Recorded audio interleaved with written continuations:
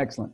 Uh, so, uh, Luis, it's great to, to have you uh, in conversation, if only virtually today.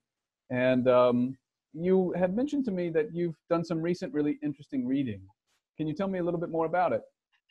Yes, Matt. Uh, um, I was just reading an article, actually, uh, a couple of articles. Uh, um, one from a team at Columbia University, um, which was talking about how our uh, perception of time is generated by our brain.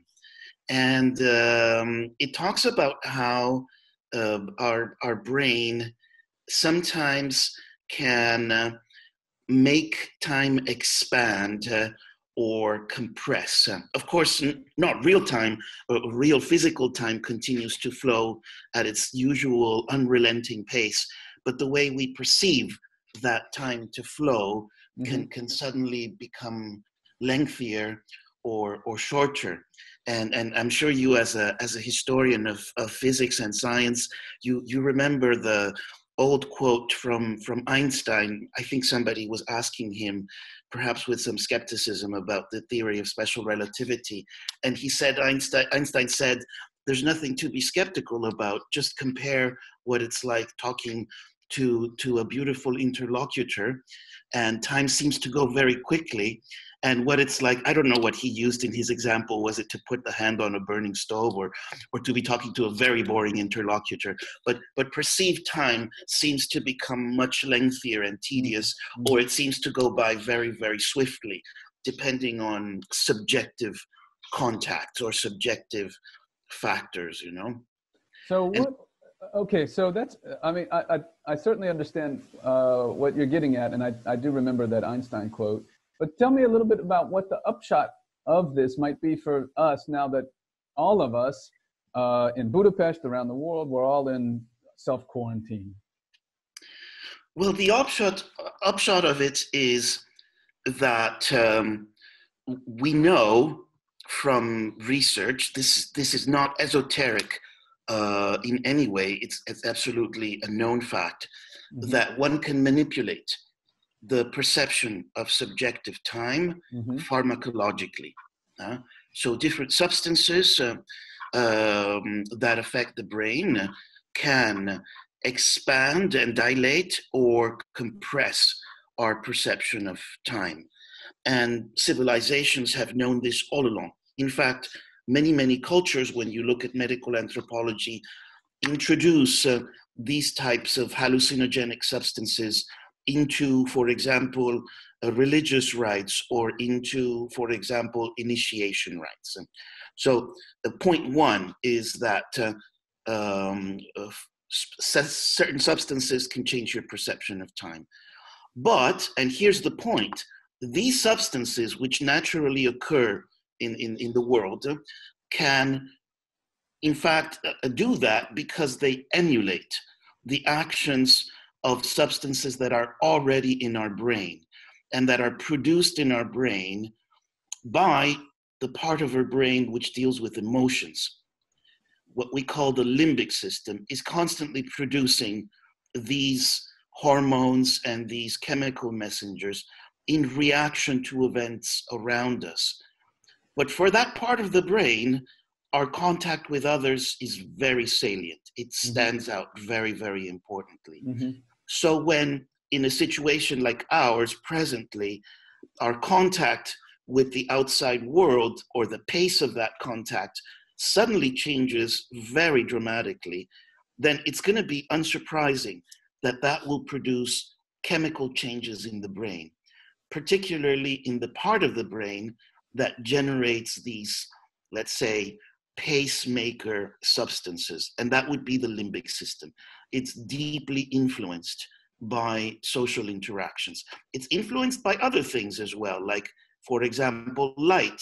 And we know this that when we suddenly get on an airplane and fly to another uh, time zone, this, the sudden change in the pattern of exposure of light wreaks havoc.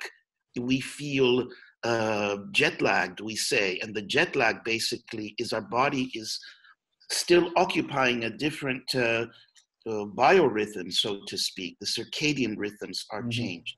Well, this happens a little bit as well, and this is the uptake message.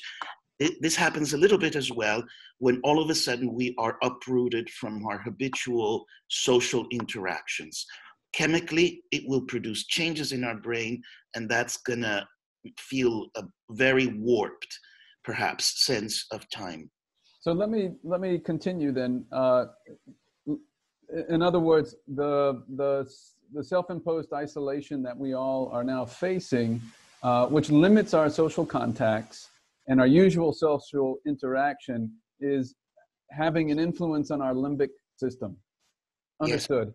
And how? Um, what are different ways we might feel different because of that? So what are some of the ways that any of us, students and professors and so on, who are now in our apartments all day, um, that ways we might feel that we shouldn't be surprised by? If if we for example are we going to get more sleep or less sleep? Are we are we going to be more anxious etc what what are some of the things we should look for? All right. Well to put it very practically uh, thankfully now that the classes are bringing some structure back into our schedules we have these uh, goalposts um, that kind of make uh, for a pacemaker sort of our day is mm-hmm. is is metronomed more regularly and more like it was before the mm-hmm. crisis mm-hmm. furthermore because of the video interactions we have some kind of a, um, um, a, a more shall we say stabilized um, stimulation of our limbic system. So, the part of our brain that controls emotions and all the chemistry that goes with that, and therefore also our perception of time. Mm-hmm. But it's still not 100% what it was before. And so, it shouldn't alarm us or surprise us if sometimes our sleep patterns are a little bit weird, mm-hmm. if we experience some degree of hypersomnia, so sleepiness, or the opposite, uh, restlessness. Um, also, it shouldn't come as a huge surprise if sometimes time seems to go by very, very quickly. Oh my God, I started looking at this YouTube video and a couple others, uh, and all of a sudden three hours went by, four hours, or you know, the, the afternoon went by, mm-hmm. and this kind of uh, sense of time went by very quickly, and I squandered it it would be slightly different if I was having the, the normal, I call them pacemaker interactions with all the chemical consequences that they entail with people, right? Mm-hmm. Um, so then what kind of advice would you give students, for example, in this situation, uh, in order for them um, to be, uh, to continue to be, to be productive and also uh, to feel uh, reasonably well about themselves? Okay, I guess the first thing I would say is don't be alarmed if things feel strange mm-hmm. right now. Mm-hmm. Um, they are strange, and you are you are not responsible for that. Mm-hmm. So limit your responsibility. You didn't do anything wrong, and the crisis that we're going through is not uh, your fault. Also, the feelings that you get of distorted time or time not being used optimally or, or time not flowing naturally. That's also not something wrong with your mind. On the contrary, it might just be that your mind, like everybody else's, is calibrated somewhat by the pace of social interactions, right? Mm-hmm. And the emotional temperature that comes with that. In the absence of that, you're maybe going to feel some anxieties, and that's going to make some things feel faster, and that's going to make some things feel slower. Mm-hmm. So I guess the first thing to say, be prepared for a sense of temporal weirdness, right? Just imagine that you you you are in a different time zone, like when you're jet lagged. Okay, mm-hmm. Mm-hmm. except now we're collectively jet lagged, as it right. were, and it has nothing to do with air travel. uh, or perhaps it does. It has everything to do. some some of us are jet lagged, not you and I, but others of us. Um, That's right. That's and what right. about what about other what are some of the things that students ought to to do kind of proactively to keep themselves um, productive and uh, reasonably happy in, in these unusual circumstances? Well, I would say um, try to create stable routines. Uh, mm-hmm. Okay. Um, so obviously, uh, showing up for your classes at the, the, the appropriate punctual times is going to help not just your academics, but it's going to help you emotionally to, to regain a sense of normality and structure and control. It might even help your, your sleep cycle. So increasingly what a lot of people are also doing is they're having virtual dinner parties okay mm-hmm. or, or, or virtual uh, drinking parties uh, although i would not recommend uh, overdoing it with that but you know sitting down mm-hmm. with a friend on skype having a chat having a beer with somebody on skype as you would do ordinarily um, that pace of dialogue where you're listening and then you're talking and the other person's reacting or the person is uh, gesticulating etc this is something that uh, helps your body secrete dopamine and oxytocin mm-hmm. and substances like this that generate a feeling of uh, normality right? Uh-huh. yeah i see. Um, well listen luis thank you so very much. And um, i tell you what if you have a moment i would invite you to a virtual coffee. So uh, so thank you. And um, uh, I want to encourage students, or for that matter, faculty members and others who might see this video, that uh, more are coming.